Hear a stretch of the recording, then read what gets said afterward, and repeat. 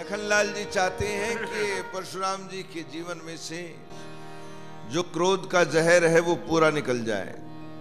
इसके लिए वो प्रयत्नशील हैं। जिस समय उन्होंने कहा, धनुया कह रहा है तो लक्ष्मण जो बोले, हमारे लिए तो सब धनुष समान है।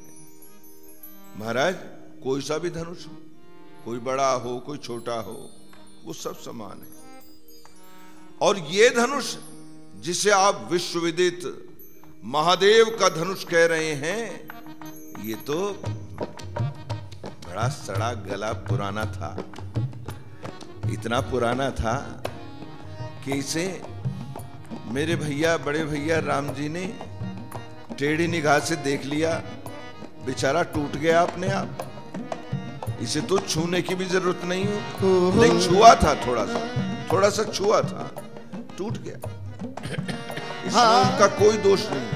लखनलाल ने यह भी स्पष्ट कर दिया कि धनुष किसने तोड़ा है। लखन कहा, हँसी हमरे जाना। लखन कहा, हँसी हमरे जाना। सुनहु देव सब धनुष समाना। सुनहु देव सब धनुष समाना।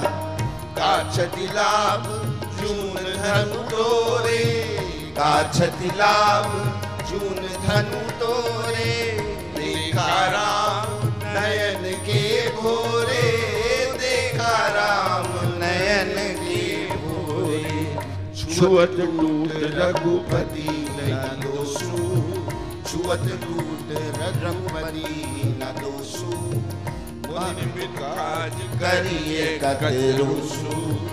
मुनि बिन काज करिए कतरुसु मुनि प्रवर, आप तो बेकार में ही क्रोध कर रहे हैं। ये क्रोध करने का समय नहीं है ये तो आनंद का, उल्लास का समय है।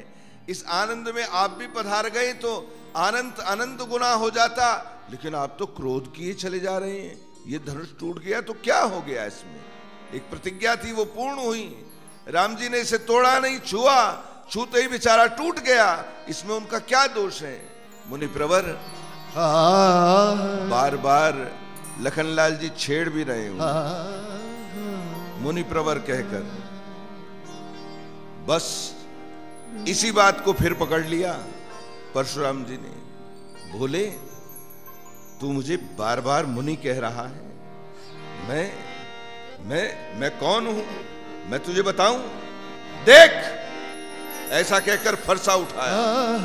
ये फरसा देख। लखनलाल ने देखा हाँ है तो फरसा ही क्या करूँ इसका? बोले, देख! कोई झंडा है आपका ही इसे नीचे कीजिए, इसे नीचे कीजिए। मैं मैं कौन हूँ? मेरा स्वभाव जान। मैं तुझे बालक समझकर छोड़ रहा हूँ। तू बच्चा है, इसलिए छोड़ रहा हूँ। तू मुझे केवल मुनि मान रहा है। अरे, मैं जानता है मैं कौन हूँ? मैं बाल ब्रह्मचारी हूँ। जय हो ब्रह्मचारी जी महाराज। अरे मैं अत्यंत क्रोधी हूँ। ये तो कोई अच्छी बात नहीं हुई, आप क्रोधी हैं। क्रोध करना तो अच्छा नहीं है। बस लखनलाल बार बार उनकी उस क्रोधाग्नि में अपना वचन का घी डाल रहे हैं और क्रोध आसमान को छू रहा है। बोले चितई परसु की ओरा बोले चितई परस की ओरा रे सठ सुनई स्वभाव न मोरा रे सठ सुनई स्वभाव न मोरा बालक बोली बजाऊं नहीं तो ही बालक बोली बधाऊ नहीं तो केवल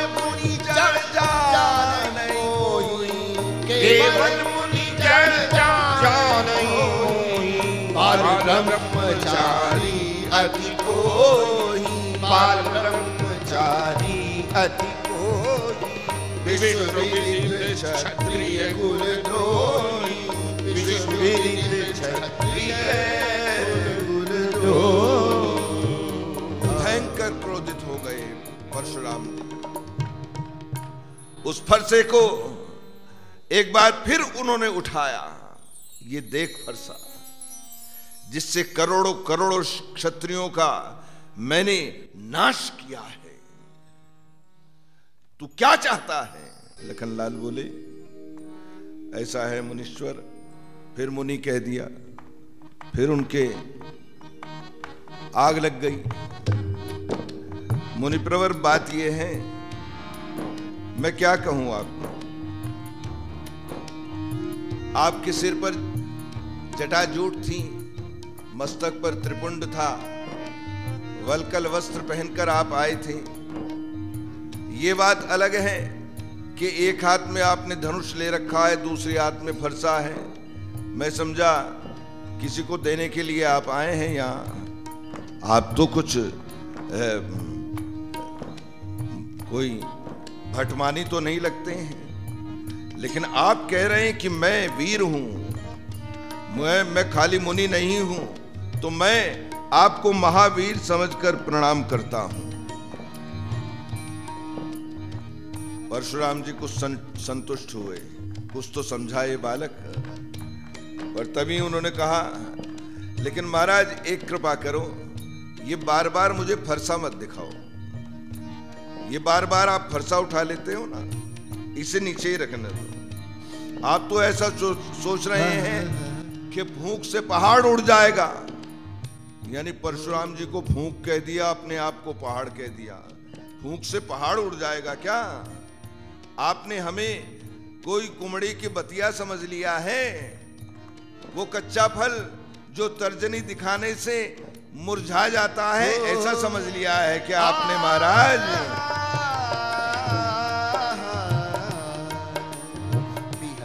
लखन, बोले मृदुबानी। हसी लखन, बोले मृदुबानी। अहो मुनीस महाभटमानी अहो मुनीस महाभटमानी पुनि पुनि मोही दिखाव कुठारू। पुनि पुनि मोही दिखाव कुठारू। जय तुड़ावन फूकी बहारू जय उड़ावन फूकी बहारू किया कुमड़ बतिया को नाशिया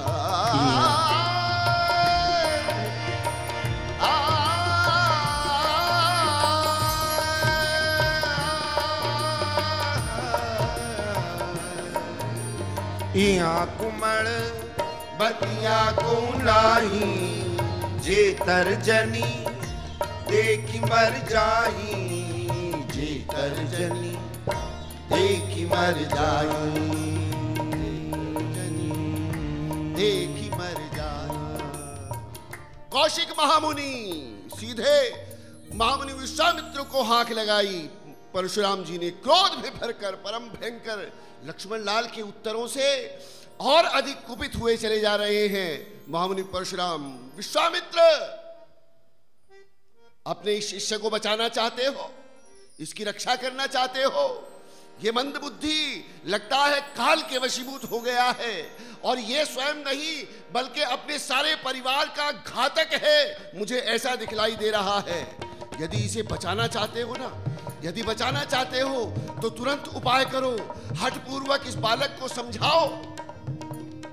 इसे हमारा बल कहो हमारे प्रताप के विषय में बदलाओ और हमारा क्रोध कितना भयंकर है इसे समझाओ और इसकी रक्षा करो कौशिक सुनाऊ मंद ये बालक कौशिक सुनाऊ मंद ये बालक कुटिल काल बस निज कुल घालक कुटिल काल बस निज कुल घालक तुम हटकऊ जो चहऊ उबारा तुम हटकऊ जो चहऊ उबारा कई प्रताप बल रोष हमारा, कई प्रताप बल रोष हमारा। हमारा प्रताप, हमारा बल, हमारा रोष, इसे समझाओ और इसे बचा लो, इसकी रक्षा कर लो।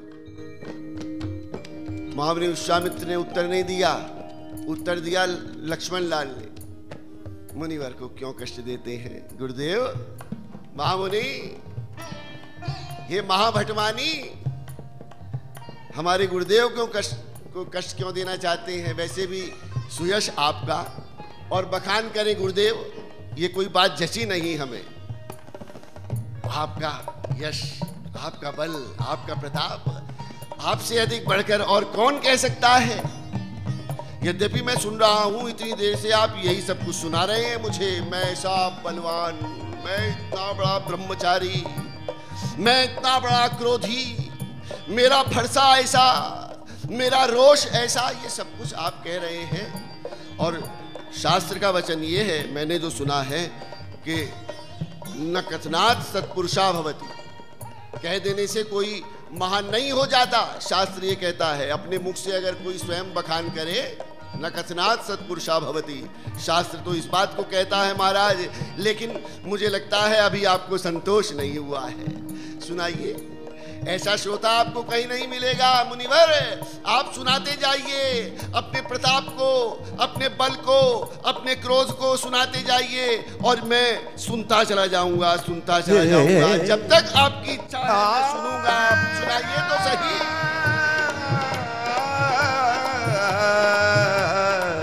लखन लख, लखन कहे मुनि सुजस तुम्हारा। लखन कहे मुनि सुजस तुम्हारा। तुम्हें अछत को बरने पारा। तुम्हें अछत को बरने पारा। अपने मुँह तुम आपन करनी, अपने मुँह तुम आपन करनी। बार अनेक भांति बहु बरनी बार अनेक भांति बहु बरनी नहीं संतोष तब पुनि कछु कहूँ नहीं संतोष तब पुनि कछु कहूँ जन रिस की दुसह दुख सहूँ जन रिस की दुसह दुख सहूँ रोकिए मत, अपने आप को रोकिए मत, सुना डालिए आज, ऐसा श्रोता आपको दूसरा नहीं मिलेगा। वैसे मैंने सुना ये है, महाराज क्षमा करना मुनिवर कि जो वीर होते हैं, वो युद्ध भूमि में कुछ करके दिखाया करते हैं। अपनी युद्ध कला का प्रदर्शन किया करते हैं। केवल कहते कहते नहीं है। जो केवल कहा करते हैं, वो वीर नहीं होते। उन्हें तो संसार कायर कहता है। कायर। ये शब्द जिस समय सुना, मुनि परशुराम ने तो अपने परशु को, अपने फरसे को सुधारना प्रारंभ कर दिया। अब मुझे कोई दोष मत देना। ये कटुवादी बालक वध करने योग्य है। और उस समय तो सारी सभा ने भी लक्ष्मण लाल की बातों को सुनकर हाय हाय पुकारा था। बस करो लक्ष्मण बस करो छोटे सरकार। और उस समय सारी सभा को व्याकुल देखकर सबको घबराया हुआ देखकर मुनि परशुराम के क्रोध के समक्ष राम जी आगे बढ़े। राम जी जो शांत करते हैं, अपने वचनों के द्वारा, अपनी मधुर वाणी के द्वारा, मुनिवर के क्रोध को शांत करते हैं। ऐसा लग रहा है कि लक्ष्मण लाल के उत्तर, मुनि परशुराम की क्रोधाग्नि को भड़काने के लिए घी की आहुति के समान है। आहुति, और घी जैसे जैसे घृत की आहुति आहुति पड़ रही है, वो क्रोधाग्नि भड़कती चली जा रही है। और जब बहुत अधिक भड़कते हुए देखा तो जल के समान जैसे कोई जल के छींटे डाल रहा हो ऐसे जल के समान मधुर वचन महाप्रभु राम ऋषिवर से बोले। लखन उतर आहुति सरिस और भगवर को बढ़त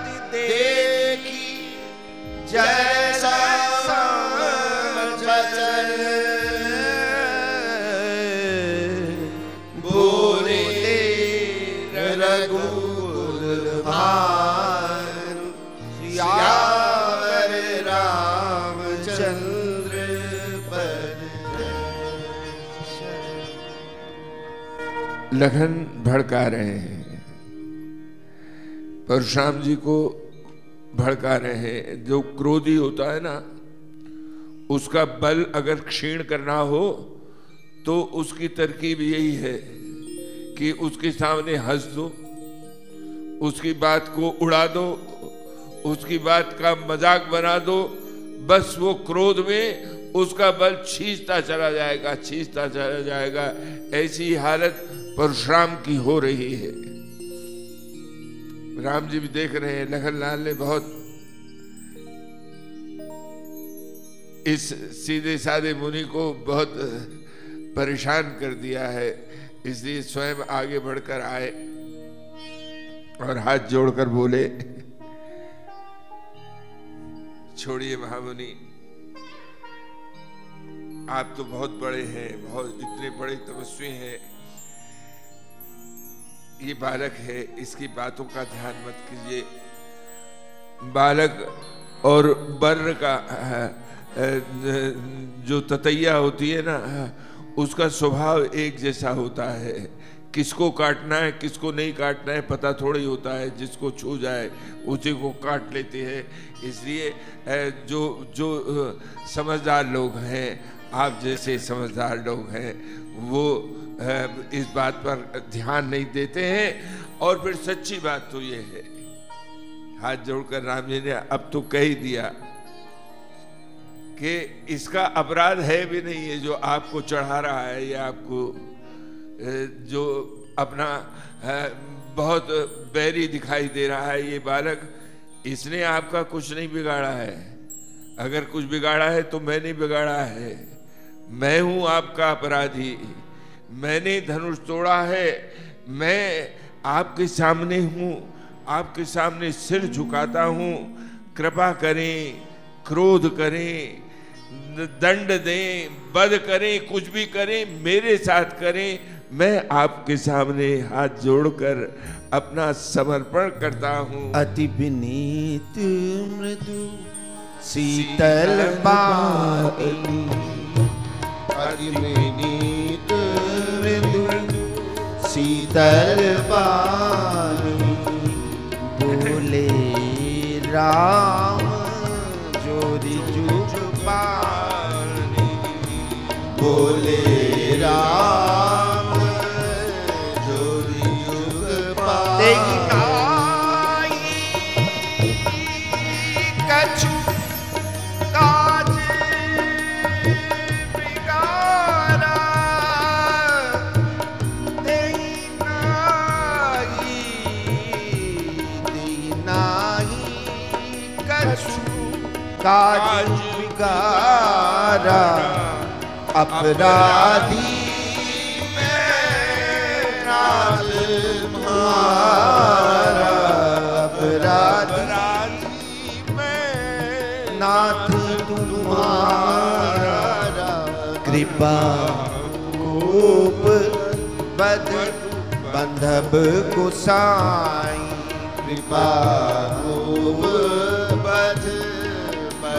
बंधब गोसाई मुँह पर करिए दास की नाई। पर करिए दास की नाई। मुनिवर को शांत करते हुए बहुत मधुर वचन कहे और अपनी अपना समर्पण भी कर दिया। मैंने कुछ मैंने आपका काम बिगाड़ा है। अपराधी मैं हूँ, ये नहीं है अपराधी।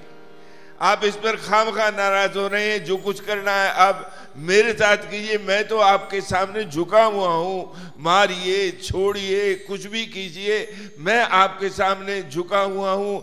ऐसा कहकर राम जी ने जैसे ही हाथ जोड़कर मुनिवर के सामने सिर झुकाया, जो पीछे खड़े थे ना लखनलाल वो वो जैसे ही राम जी नीचे झुके और लखनलाल ने वहीं से अंगूठा दिखा दिया और आँखें तिरछी करके आँखें मटका दी, बस भड़क गए वहीं। वहीं से भड़क गए, राम मेरा क्रोध कैसे खत्म होगा? ये जो तेरा छोटा भाई है ना, ये मुझे इसी तरह से टेढ़ी निगाह से देख रहा है। जब तक इसके गले में मैं फरसा नहीं मारूँगा तब तक मेरा क्रोध बेकार है बिल्कुल बेकार है। कह मुनि राम जाय ऋषि कैसे? कह मुनि राम जाय ऋषि कैसे? अजम अनुज तब चितब अनैसे।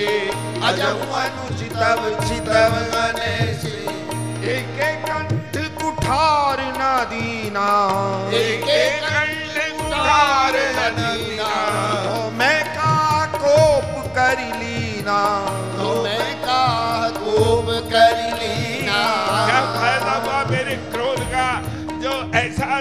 बालक मेरे सामने खड़ा हुआ और मेरा फरसा चल नहीं रहा है। परशुराम जी को अब तक समझ में नहीं आ रहा है कि फरसा उठा लिया, चल नहीं रहा। इतनी देर तो कभी नहीं लगी, उन्हें आज तक नहीं लगी। समझ नहीं पा रहे हैं। स्वरूप को ही समझ नहीं पा रहे हैं। बात को ही समझ नहीं पा रहे। क्रोध में आदमी सब कुछ भूल जाता है। पैसे परशुराम बिल्कुल भूल गए यहाँ तक कह दिया, इसे इसे मेरी आँखों के सामने से या तो हटा दो नहीं तो अनर्थ हो जाएगा। हटा दो। ये छोटा बालक दिखाई देता है ए, लेकिन बहुत खोटा है ये बहुत खोटा है। इसे हटा दो मेरे सामने से। लखनलाल वो बड़ा बाज आ सकते हैं क्या? वो बोले मुझे हटाने की क्या ज़रूरत है? मेरी शक्ल से अगर आपको इतनी चिड़ हो रही है तो आप अपनी आँखें बंद कर लीजिए कोई भी नहीं रहेगा यहाँ सिर्फ़ क्या बात है? अपनी आँखें मूंद लीजिए। लेकिन खैरियत यही हुई कि ये बात उन्होंने लखन लाल ने मरी मन कही ज़ोर से नहीं कही नहीं तो पता नहीं क्या हो जाता।